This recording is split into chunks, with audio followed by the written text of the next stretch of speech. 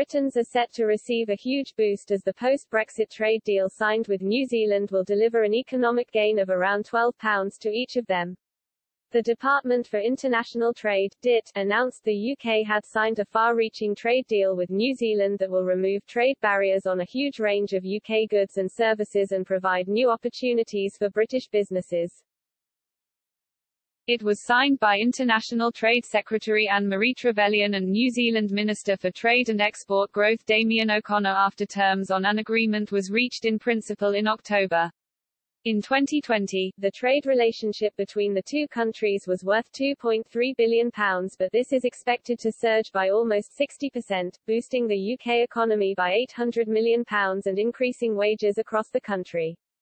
Tariffs will be scrapped on all UK exports to New Zealand including current tariffs of up to 10% on clothing and footwear, 5% on buses and up to 5% on ships, bulldozers and excavators. In addition, tariffs on popular New Zealand products such as Sauvignon Blanc wine will be slashed by 5%, knocking an average of 20p off the cost of each bottle imported from the country. Overall, the deal is forecast to deliver an economic gain of between 0.02% and 0.03% by 2035 equal to around £12 per person. International Trade Secretary Ms. Trevelyan said, this deal will slash red tape, remove all tariffs and make it easier for our services companies to set up and prosper in New Zealand. Our trade with New Zealand will soar, benefiting businesses and consumers throughout the UK and helping level up the whole country.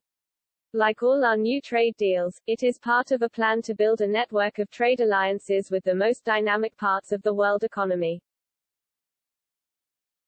so we set the UK on a path to future prosperity.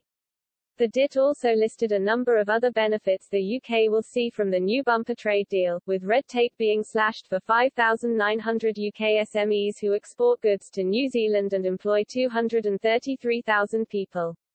There will be guarantees for small businesses who will benefit from practical advice and support to find opportunities and link to commercial partners in New Zealand.